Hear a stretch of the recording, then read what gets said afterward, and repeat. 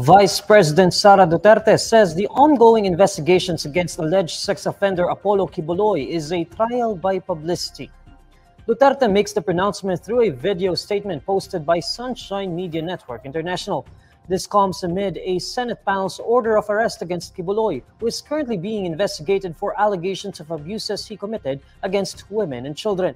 Duterte asserts that the ongoing investigations against the pastor should instead be brought to court. Duterte also sees the probe as a form of violence, which she claims many believe is unfair.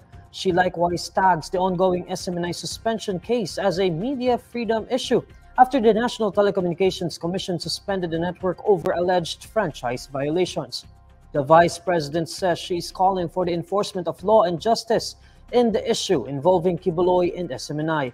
According to Duterte, Quiboloy has supposedly already been presumed guilty in the ongoing hearings. She adds the hearings rely solely on the accusations of witnesses whose credibility cannot be proven.